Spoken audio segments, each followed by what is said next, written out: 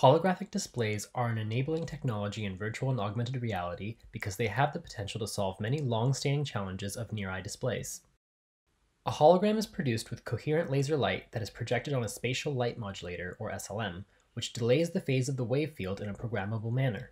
As the field continues to propagate, it creates interference patterns that are observed as an image by a user, for example in a near-eye display.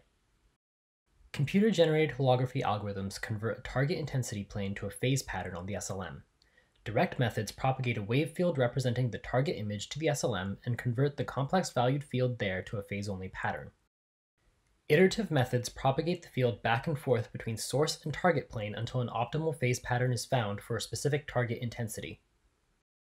Direct methods are typically fast but offer limited image quality. Iterative methods are much slower but offer better quality. In this paper, we propose CGH algorithms based on variants of stochastic gradient descent that outperform all existing CGH algorithms. Moreover, we develop a neural network architecture that achieves image quality comparable to the best existing iterative methods in real time. Here we see a comparison of several iterative methods in simulation. All methods work well with SGD mitigating remaining artifacts, like noise. Unfortunately, it is very challenging to achieve comparable image quality with the physical holographic display. Small amounts of phase distortion on the SLM and optical aberrations, as simulated here, cause a model mismatch between the light transport used for optimizing the phase patterns and that observed in the experiment. Thus, in practice, all methods fail at actually achieving high image fidelity. Our SGD solver has the capability to account for this model mismatch. Typically, we simulate the observed image for a given SLM pattern, compare it with the target image, and backpropagate the error into the phase pattern. With our camera-in-the-loop procedure, we capture the image produced by the phase pattern with the camera, compare that image with the target, and backpropagate the error using the gradients of a differentiable proxy light transport model back into the phase patterns. Compared with the idealized light transport model, this camera-in-the-loop method achieves vastly better image quality.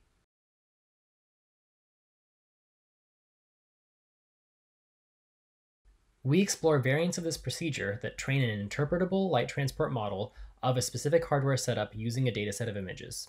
This model calibrates source intensity variation on the SLM, non-ideal propagation, and other optical aberrations and parameters in a fully automatic way. Once calibrated, a camera is not necessary to synthesize new holograms.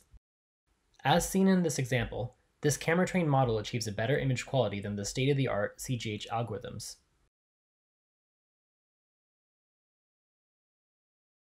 Here is another example scene that compares iterative CGH algorithms. Our camera-in-the-loop procedures achieve the best quality.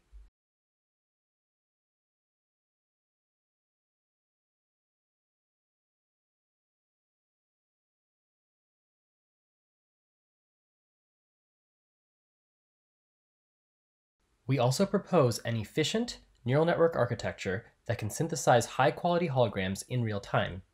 For this purpose, we pass the target amplitude into a target phase generator network then apply a multi-part propagation based on the calibrated model to the resulting complex valued field. Finally, we predict a phase-only pattern with a phase encoder network. When training this network, we additionally simulate the image reconstruction with our camera-trained model and backpropagate the error into the network parameters. This network-based image synthesis achieves significantly improved image quality over real-time methods.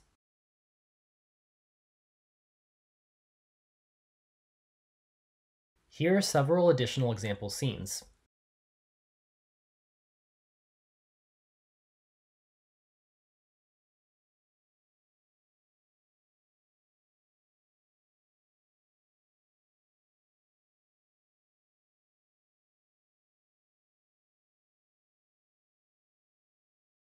To demonstrate that our camera-in-the-loop image synthesis is robust to viewpoint shift, we intentionally move the camera a few millimeters horizontally relative to the display. As seen here, the results still retain high quality.